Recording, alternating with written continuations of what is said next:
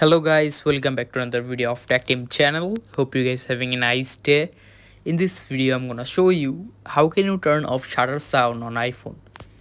So guys whenever you try to open your camera and capture photo the shutter sound is annoying you. So you can just turn it off through shortcuts. So go to shortcuts from your device. Now after going to shortcuts in the bottom here you can see automation. Just click on automation and click the top right this plus icon.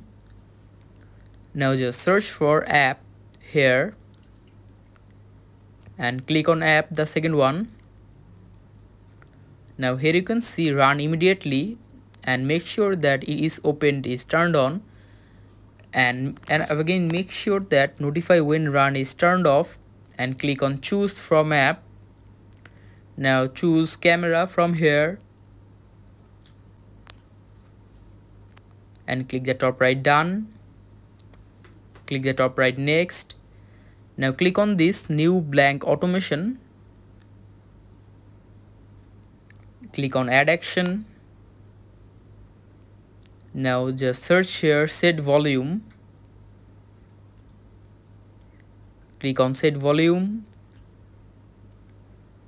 Now click on the 50% and make it 0% like this. Click the top right done.